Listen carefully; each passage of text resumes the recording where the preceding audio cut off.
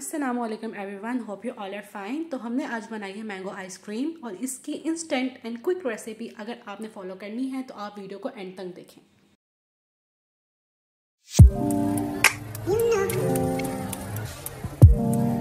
तो मैंने लिए हैं आइसक्रीम के लिए दो टू हंड्रेड एम वाली आइस सॉरी क्रीम के पैकेट ऑल पर और ये मिल्क पैक वगैरह, ये तो क्रीम दिन ब दिन महँगी होती चली जा रही है तो मैंने लोकल क्रीम के पैकेट मंगवा लिया जो मुझे हंड्रेड हंड्रेड रुपीज़ के मिले।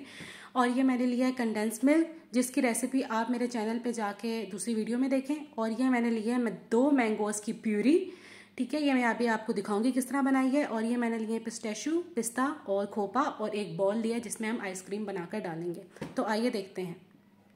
तो ये मैंने ले लिए टू मैंगोज़ और इसको अब स्मॉल पीसेस में छिलके उतारने के बाद कट करेंगे और इसको डालेंगे जूसर में और इसकी बना लेंगे प्यूरी इसमें पानी वगैरह कुछ भी नहीं डालना शुगर भी नहीं डालनी जिस इसकी प्यूरी बनानी है।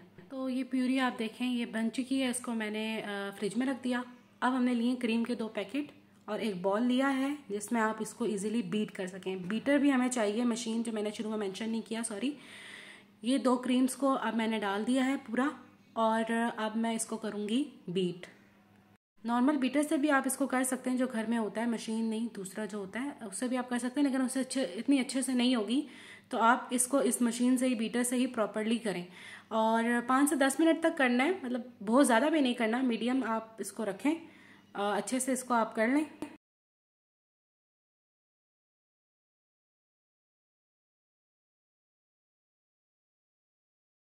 और फिर आप इसमें डाल लें कंडेंस मिल्क जिसकी रेसिपी मैंने अपने चैनल में दी हुई है, जिसको आप इजीली घर में भी बना सकते हैं और चाहे तो आप बाज़ार से भी मंगवा लें।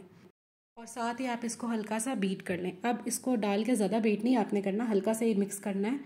और साथ ही आप इसमें डाल लें मैंगो की प्यूरी ठीक है?